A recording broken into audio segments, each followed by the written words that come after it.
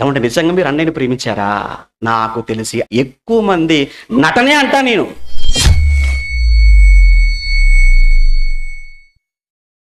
ఆయనలో అన్నయ్యలో ఉన్నటువంటి ఒక సిద్ధపాటు నేను చూసింది. తమ్ముడు ఎవరో మాట్లాడుతూ కూడా ఒక మంచి మాట చెప్పారు. నిజం. ఫ్యాక్ట్ అది ఏంటంటే పాటలు నేను ఎప్పుడు కూడా అడిగినా కానీ అన్నయ్య పాటలు అయిపోయినాయి అంటే తమ్ముడు ఈ సంవత్సరానికే కాదు నెక్స్ట్ ఇయర్ పాటలు కూడా ఇప్పుడు ఆ, చాలా వరకు అయిపోయాయి ఈ సంవత్సరం కాక నెక్స్ట్ ఇయర్ పాటలు కూడా ఈ సంవత్సరమే. ఏంటోనండి? చాలా ఆశ్చర్యం అనిపించేది అంటే ఒక సంవత్సరానికి అంటే ఈ సంవత్సరంలోనే వచ్చే సంవత్సరానికి సంబంధించిన పాటలను కూడా ఆయన సిద్ధం చేయటంలో ఆయన చూపించినటువంటి చొరవ ఆ సిద్ధపాటును చూస్తుంటే చాలా ఆశ్చర్యం కలుగుతుంటది. ఒక కొటేషన్ జ్ఞాపకం వస్తుంటుందండి. ఏంటంటే చిన్నప్పుడు హిందీలో కబీర్ బాబు గారు అని ఒక ఆయన కవి ఉండేవాడు మీ అందరికి తెలుసు. సమయాన్ని ఎలా సద్వినియోగం చేసుకోవాలనేటువంటి విషయంలో ఒక కొటేషన్ హిందీలో మాట్లాడేవారు మీ అందరికి కూడా తెలుసు. ఎవడి కల్కా కామ్ ఆజ్ ఆచికా ఆజ్ కామ్ అభీకరో అనేవారు. రేపు చేయవలసిన పనిని ఈ రోజు చేయి ఈ రోజు చేయవలసిన పనిని ఇప్పుడే.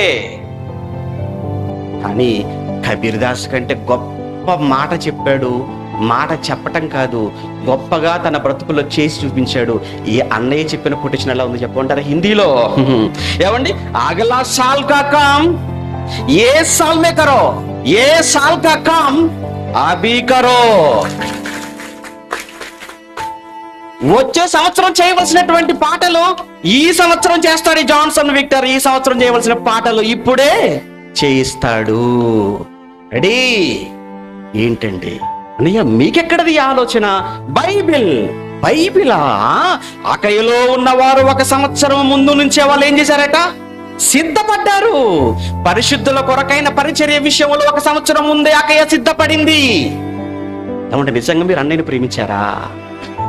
నాకు తెలిసి అందరూ కూడా ఎక్కువ మంది అంటే అందరూ ఎక్కువ మంది నటనే అంటా నేను. మీరు అంటారా? అయితే సమయాన్ని వేస్ట్ చేయకండి. సమయాన్ని అస్సలు మీ జీవితంలో వేస్ట్ చేయకండి. నిజంగా మీరు వారిని ప్రేమించేవారైతే ఆయన అభిమానించే వాళ్ళైతే. ఆయన ఆయన మనకి ఏం చెప్పాడు? ఏం చూపించి వెళ్ళిపోయాడు? ఎలా పని చేశాను మీరు చూడండి. నా మాట మీద నా మీద మీకు ఏమాత్రం ప్రేమ గౌరవం ఉంటే అది మీ బ్రతుకులో చూపించండి. నేను ఎలా ఎలా పని చేశాను చూసారా దేవుడి కోసం? మీరు కూడా నాకంటే ఎక్కువ కష్టపడండి. అలా మనం ఎక్కువగా దేవుని కోసం కష్టపడుతున్నప్పుడు ఇప్పుడు ఆయన కూడా చూస్తుంటాడు కదా. ఏమన్నా అక్కడికి వెళ్ళిపోయినా కానీ అన్ని తెలిసిపోతుంటాయి కదండి అబ్రహాం గారు. ఏమంటే అక్కడ ఉన్నటువంటి లాసర్ గారు వాళ్ళ సంభాషణ. ఎవడు పాతాళంలో ఉన్నటువంటి ధనవంతుడు భూమి మీద ఉన్న సహోదరుల గురించి. ఎవడు ఈ సందర్భాలన్నీ మనం చదువుతున్నప్పుడు ఒక విషయం అర్థమవుతుంది కదా. తెలిసిపోతున్నాయి ఆత్మలకన్నీ. అందుకే నిజంగా నన్ను ప్రేమించే వాళ్ళేనా మీరు? నన్ను ప్రేమించే వచ్చారా? నిజంగా మీరంతా దుఃఖపడుతున్నారు కదా. మీరంతా కూడా బాధ అంటున్నారు కదా? అయితే మీరు దయచేసి నన్ను ప్రేమించే వారైతే నిజంగా మీ ప్రేమలో యథార్థత ఉంటే మీ ప్రేమలో స్వచ్ఛత ఉంటే నడవండి అడుగులు ముందుకు వేయండి. నాకు బైబిల్ నాకు బైబిల్ స్ఫూర్తి నాకు క్రీస్తు మాదిరి. మీకు కూడా మీ ముందు పెట్టేసి వెళ్ళిపోతున్నాను. ఎందుకంటే ప్రవర్తనా ఫలం. మాట విన్నారు కదా ప్రవర్తనా ఫలం. ప్రవర్తన ఫలమే కాదండి. ఎవరైతే దేవుని కోసం బాగా కష్టపడుతున్నారో వారిని మనం మాదిరిగా పెట్టుకోవడం తప్పు కాదండి. వారిని గురిపెట్టి చూడండి వారిని గురిపెట్టి చూడండి. ఫిలిపిలకు రాసిన పత్రిక మూడవ అధ్యాయంలో చెప్పబడుతుంది అన్నమాట ఫిలిపి పత్రిక మూడవ అధ్యాయం పదిహేడవ వచనం. ఫిలిపి పత్రిక మూడవ అధ్యాయం పదిహేడవ వచనంలో ఫిలిపి పత్రిక మూడవ అధ్యాయం పదిహేడవ వచనంలో సహోదరులారా మీరు నన్ను పోలి నడుచుకొనుడి సహోదరులారా మీరు నన్ను పోలి నడుచుకొనుడి. మేము మీకు మాదిరి అయిన ప్రకారము నడుచుకుని వారిని గురిపెట్టి చూడండి మేము మీకు మాదిరి అయిన ప్రకారము గురిపెట్టి చూడండి గురిపెట్టి చూడండి అన్నాడు.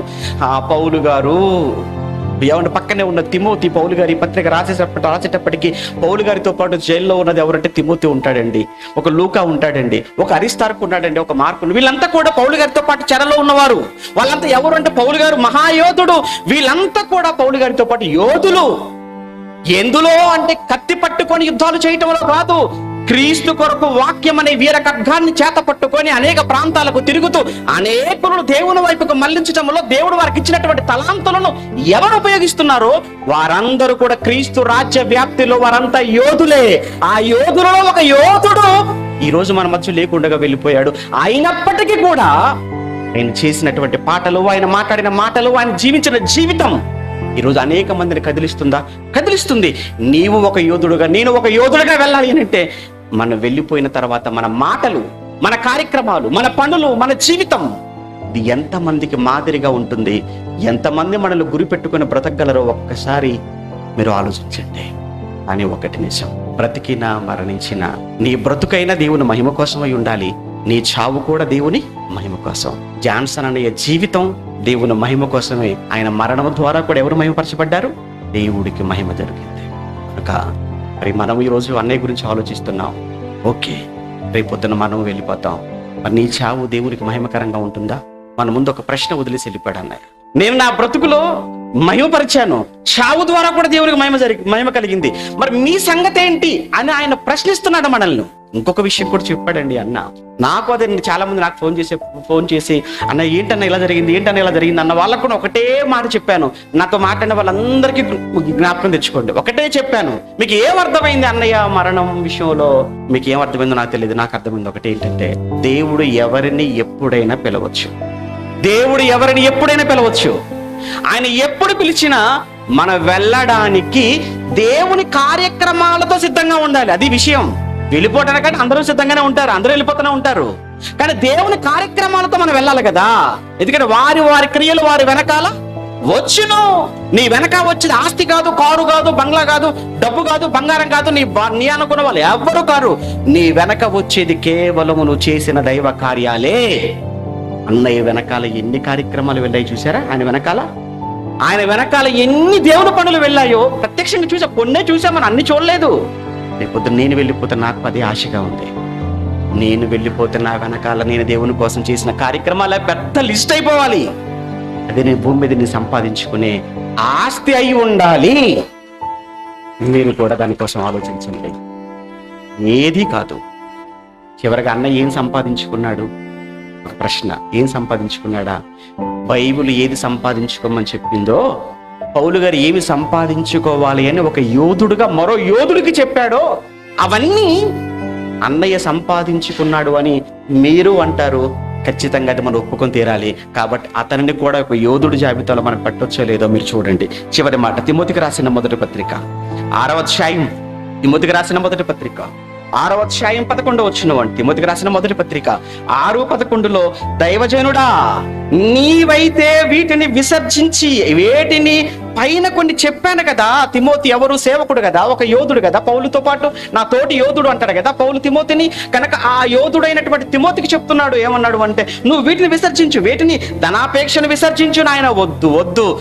డబ్బు డబ్బు ఆ డబ్బు అనేటువంటి ఆ భయంకరమైనటువంటి ఆ ధనాపేక్ష నుండి మనసులోకి రానివ్వకు నాయన. ఓకే దాన్ని చంపేసి దాన్ని విసర్జించు. అసూయపడకు. ఏ సేవకుని చూసి ఎవరిని చూసి ఎదుగుతున్న వాళ్ళని చూసి నీ జీవితంలో ఎప్పుడు నువ్వు అసూయపడొద్దు అన్నాడు. కలగ ఎవరితో గొడవ పడకు అన్నాడు. నాలుగో వచ్చిన ఐదో వచ్చినలో నువ్వు దూషణ మాటలు పలకొద్దు అన్నాడు. ఎవరిని కూడా తప్పుగా నువ్వు అనుకోవద్దు దురానుమానాలు వీటిని విసర్జించు. వీటిని విసర్జి వీటిని విడిచిపెట్టు అన్నాడు.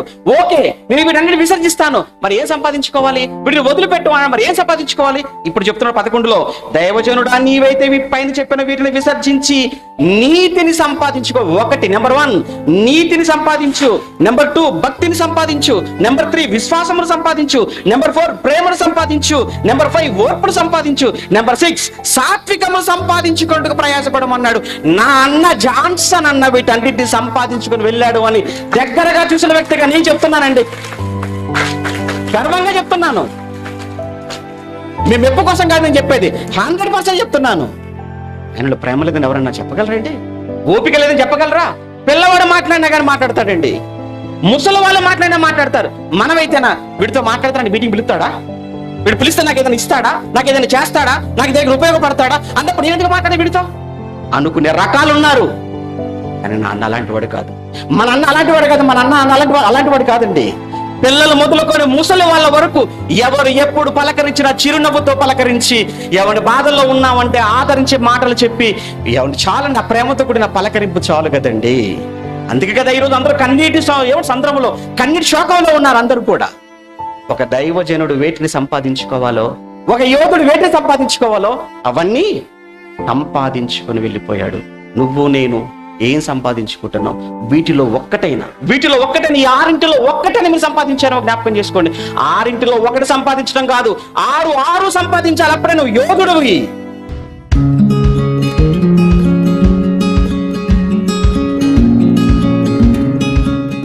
మీరు ఎందుకు పుట్టారో తెలుసా?